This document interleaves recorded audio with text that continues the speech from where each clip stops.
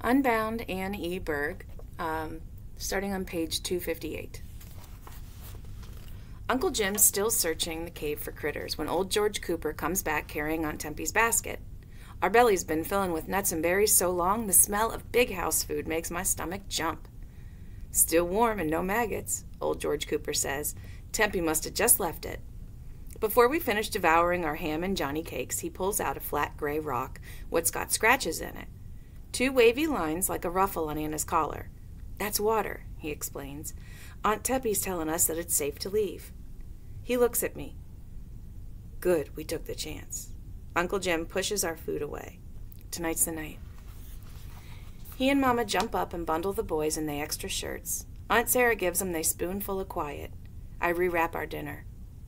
That spoonful of quiet, kids, that really reminds me of how in Number the Stars they had to give um, that baby that medicine to keep him sleeping. So it's the same thing that if the kids need to stay quiet to help them stay safe.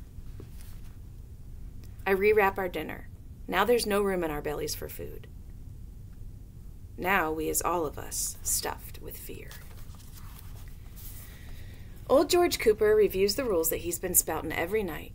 No matter what you see slithering behind you, no matter what you feel creeping up your leg or crawling along your neck, no matter what you hear buzzing in your ears, keep quiet, keep moving.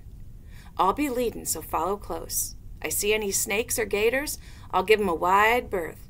You do the same. They won't bother you if you give 'em space.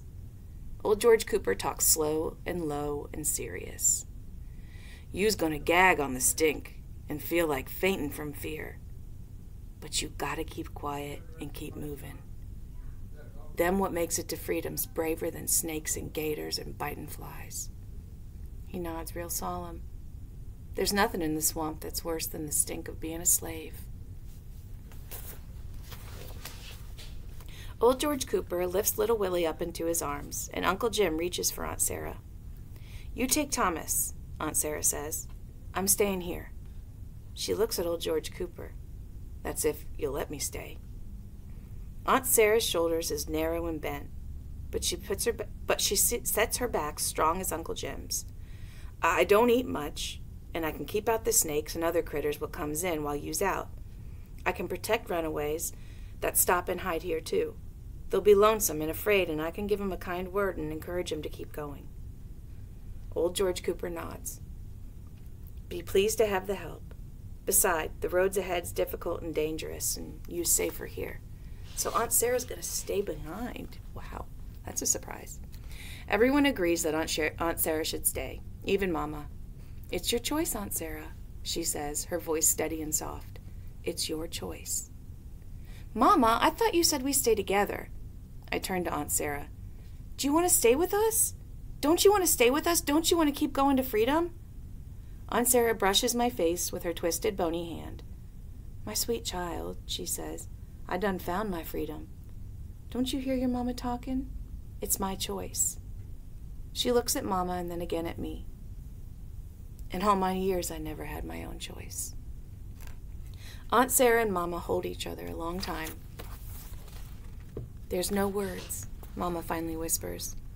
Aunt Sarah touches mamma's face with her knotty hands. May the good Lord keep you, she says. Uncle Jim nods at Aunt Sarah, his solemn eyes telling her goodbye and promising her he'll take good care of us. He tugs Mama's shoulders. Come on, Catherine, he whispers. We need to go. It's my turn to say goodbye, and I wrap my arms tight around Aunt Sarah's waist to keep my sorrow from spilling out.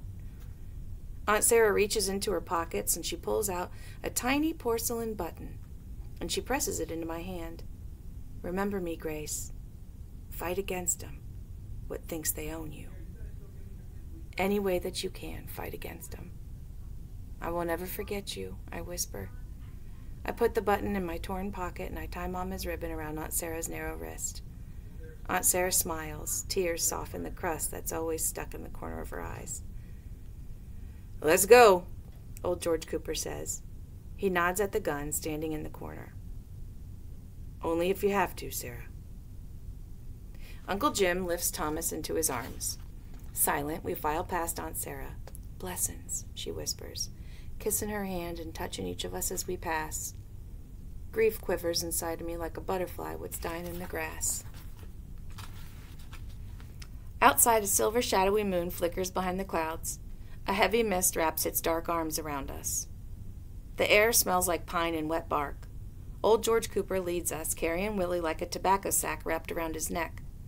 Uncle Jim's next with Thomas, and then there's me, holding whatever's wrapped up supplies is left a handful of berries, a slice of ham, some Johnny cake crumbs, and an almost dry bottle of blue sleep. Behind me, I hear Mamma whispering, asking the good Lord to help carry her heavy heart. I pray too. I beg the good Lord to keep away the dogs and the paddy rollers and snakes. I beg him to watch over Aunt Sarah and to guide us on our way to freedom.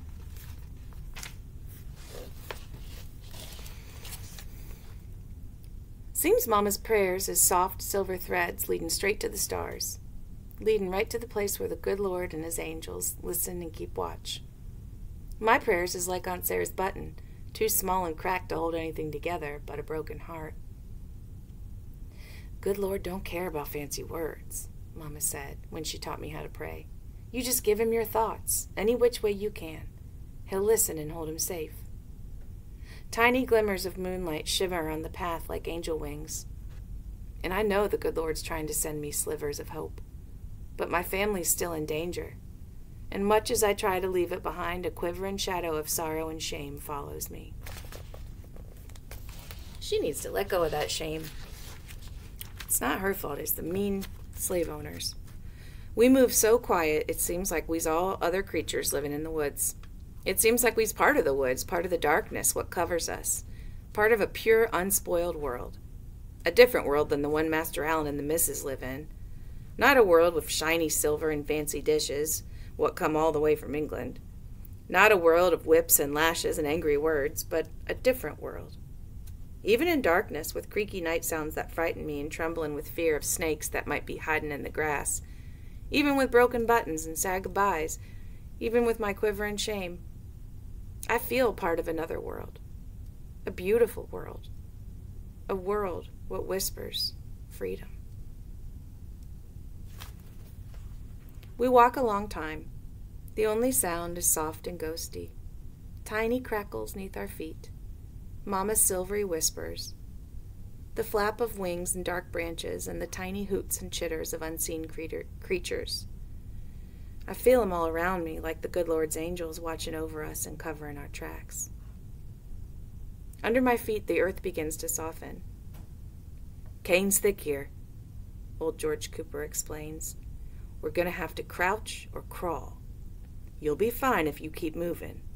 We all need to keep quiet and keep moving. They must be getting into the swamp. I feel the earth tugging at my feet.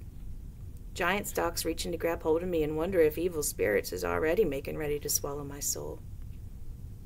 Keep moving, Mama whispers. Keep moving, I repeat. Finally, we stand at the edge of a large pond of stinking water that must be full of snakes, flies, snapping turtles, and fearsome gators. Gotta keep moving, old George Cooper says. Daylight's coming fast. He heads into the water that reaches just below Willie's sagging body. I hold my breath and step into that warm, buggy, foul smelling pond. Beside me, my gown billows like dirty clouds. Everywhere, mosquitoes buzz and bite. Under the water, something soft and slimy wraps around my bare legs. I hold my breath and just keep moving. We made along, slow and even stepped, till without warning, old George Cooper changes direction. It feels like we're circling backward. Fear takes hold of me. Uncle Jim steps aside and nods for me to fill the watery gap. I turn round just enough to see him slip behind Mamma. Don't be afraid, I hear him whisper. It's eyeing something else, and it won't bother us if we don't bother it. Bother who? The only sounds the soft plop and splash of water, the snap and flick of bugs nipping at the darkness. There's nothing round me but my own fears growing like mushrooms after a storm. And then I see what looks like a large log gliding next to us.